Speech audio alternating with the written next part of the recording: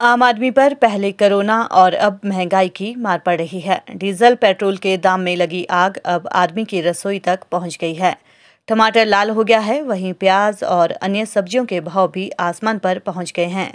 Petrol, diesel की कीमतें बढ़ी तो ट्रांसपोर्ट खर्च बढ़ने से सब्जियों के दाम दो से तीन गुना तक बढ़ गए हैं। राजधानी शिमला में इन दिनों टमाटर, साठ तो प्याज ने जनता के आँसू निकाल दिए हैं। सब्ज़ी मंडी के प्रधान विशेश्वर नाथ ने बताया कि हर वर्ष इस समय प्याज के दामों में वृद्धि होती है, क्योंकि प्याज की नई फ़सल अभी नहीं आई होती है और स्टोर से पुराना प्याज ही मंडियों में आ रहा है। टमाटर भी महँगा है, महाराष्ट्र का टमाटर शुरू नहीं हो पाया है। उन्होंने कहा कि अगले एक महीने तक टमाटर प्याज सस्ता होने की कोई उम्मीद नहीं है। फ़िलहाल दिवाली तक टमाटर प्याज लोगों के आँसू निकालते रहेंगे। वहीं सब्जियों के बड़े दामों से लोग खासे परेशान हैं। गृहिणियों का कहना है कि टमाटर और प्याज के दाम आसमान छू रहे हैं, जिससे उनके रसोई का बजट हिल गया है। उनका कहना है कि खाद्य वस्तुओं की कीमत लगातार बढ़ रही है। सरकार को बढ़ती महँगाई को रोकने के लिए कारगर कदम उठाने चाहिए। त्योहार आ रहे हैं, महँगाई भी बहुत मटर टमाटर जो लोग बीस बीस रुपए तीस तीस रुपए थे अस्सी अस्सी रुपए किलो मिल रहा है। काफ़ी महँगा है। तो कितना मुश्किल? मेरा नाम प्रभा है।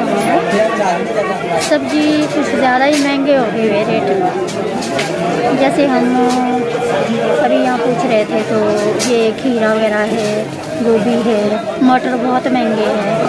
तो सारी ही सब्ज़ियाँ ऑलमोस्ट महँगी हो चुकी है। सब लोग इतना एफर्ट थोड़ी कर सकते हैं, कितनी महँगी सब्ज़ी लेंगे। पर फिर भी चलो, खाने पीने के लिए जो ज़रूरी आइटम होती है, वो लेनी तो पड़ती है, ज़्यादा नहीं तो कम लेंगे।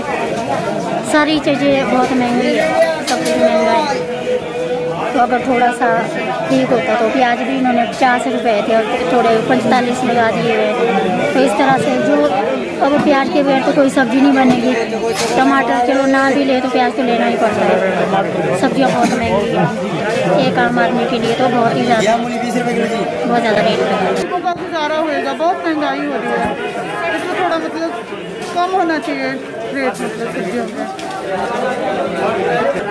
क्या लेना क्या नहीं लेना कुछ पता ही नहीं लगता है।